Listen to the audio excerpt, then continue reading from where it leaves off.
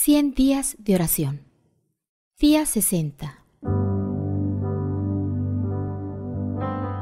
Bienaventurados los mansos, porque ellos recibirán la tierra por heredad. Mateo 5:5. Hoy lunes, 25 de mayo del 2020, oremos para que Jesús nos haga humildes, mansos.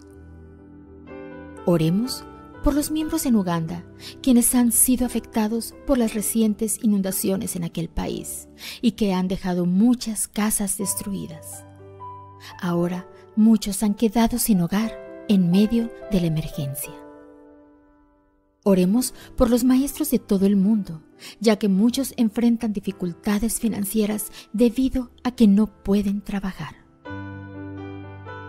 Oremos de una manera especial para que los jóvenes se den cuenta de la importancia de servir a Dios y no al mundo, que puedan sentir de esa manera cómo sus vidas pueden tener sentido.